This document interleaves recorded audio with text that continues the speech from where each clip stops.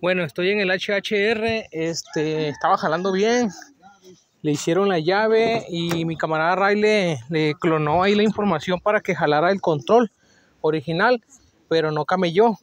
Llegando yo aquí a la casa, detecto que me empezó a fallar, por ahí anda un video que en el minuto 2.20 hago yo esto. Ah, caray. Ah, caray, como la tercera vez arrancó.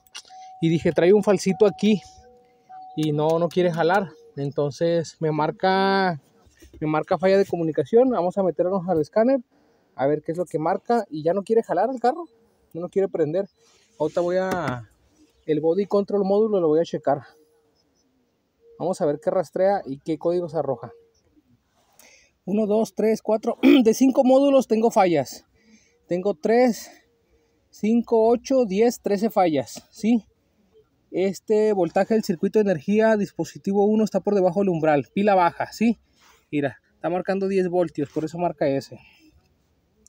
Bolsas de aire. Están abiertas.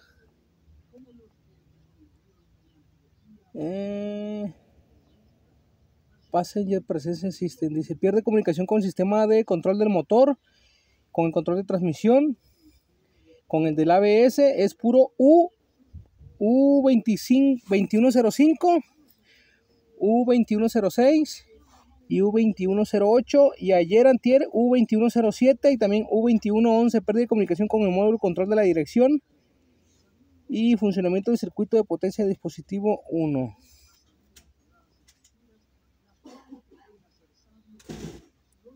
Y en el radio nos marca U140 comunicación perdida con el sistema de control de carrocerías de la el Body Control Module, el USM. Mm, pierde comunicación con el racimo de panel de instrumentos IPC U0 155 y el módulo antirrobo. Otra vez U2105 pierde comunicación con el sistema de motor sin modulación del transportador o ciencia de transponder. Ok.